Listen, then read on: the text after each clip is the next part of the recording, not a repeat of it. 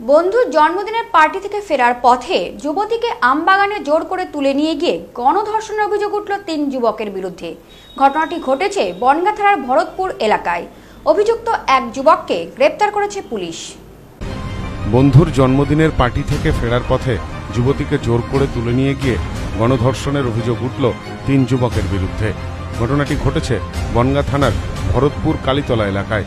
ঘটনায় এক অভিযুক্তকে ইতিমধ্যেই গ্রেপ্তার করেছে পুলিশ। বাকি দুই অভিযুক্ত পলাতক। জানা গেছে, গোবরাপুরের বাসিন্দা ওই যুবতী পুজো উপলক্ষে ভরতপুরে মামার বাড়িতে আসেন।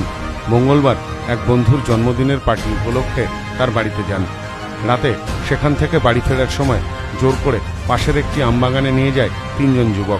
সেখানে একটি ঘরে যুবতীকে গণধর্ষণ করে বলে অভিযোগ। পরে যুবতীকে অচৈতন্য অবস্থায় পরিবারের লোকেরা উদ্ধার করে। সে সময় যুবতী বিবস্ত্র অবস্থায় ছিল বলেও জানা গেছে। এখানে আমাদের বাড়ির সামনে দাঁড়িয়ে আছে। দাঁড়িয়ে থাকার পর তিনটে ছেলে ওকে মুখ উই করে টিপে নিয়ে এইখানে নিয়ে এসছে। নিয়ে আসার পরে তখন দশটা বাজে। আমার খাওয়া দাওয়া খাওয়া দাওয়া করে উঠেছি এবার। বলছি, জেঠিমাকে বলছি জেঠিমা আমি বাড়িতে আসেনি, বলছে, না তো, এখন আসেনি। তখন আমি আবার ওই বার্থডে ওই বাড়িতে গেলাম। যাওয়ার পরে পাইনি। না পেলে এবার বোন যার বার্থডে ছিল তাকে বললাম, "ও কোথায় থুয়েছি বলছি, ভাই, আমি তো তোর কেবল তোদের বাড়িতে দিয়ে এসেছি। আমি বলছি, তাহলে চল, খুঁজবো। এবার এইখানে ফার্স্টে এসেছি, পাইনি। মানে এখানে এসেছি পাইনি। না পেলে দুটো ছেলে তখন আমার সাথে যার বার্থডে ছিল, ওই থেকে আবার চিল্লাচিল্লি কোথায় এই কেড়ে রে, কে রে? দুটো ছেলে ওইখানটায় ওইখানে মানে উঁচু হয়ে পালালো, তার মানে ভেঙে চলে আর তারপরে তারপরে এই দেখি কি এইখানটায় পড়ে আছে। গায়ে বলতে গেলে কিছুই ছিল না, গায়ে এসে। যুবতীর পরিবারের সদস্যদের দাবি অভিযুক্তরা জন্মদিনের পার্টিতে ছিল। সেখানেই তারা ওই যুবতীকে জোর করে মদ খাওয়ায়। এরপর তাকে নিয়ে গিয়ে গণধর্ষণ করে।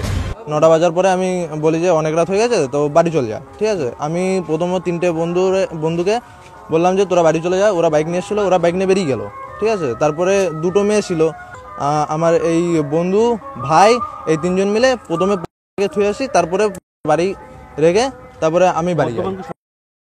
জানা গেছে, রাত দশটার পরেও যুবতী বাড়িতে না ফেরায় তার খোঁজ শুরু করেন পরিবারের সদস্যরা। এরপর পাশের এক আমবাগান থেকে তাকে উদ্ধার করা হয়। আমরা ওর ফাঁসি চাই যাতে মেয়েদের এরকম কেস আর না হয়।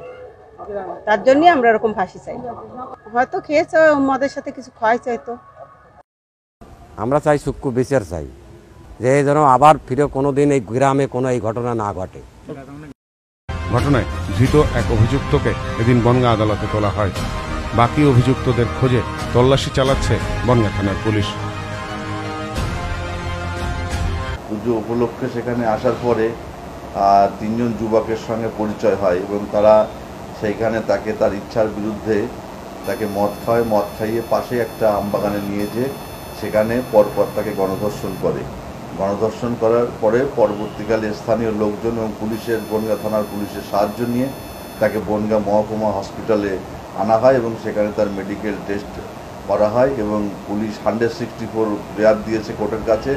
ঘটনার যে একজন অভিযুক্ত অ্যারেস্ট হয়েছে, সে ঘটনার পুনর্নির্মাণ করার জন্যও তাকে সেখানে নিয়ে যাওয়া হবে।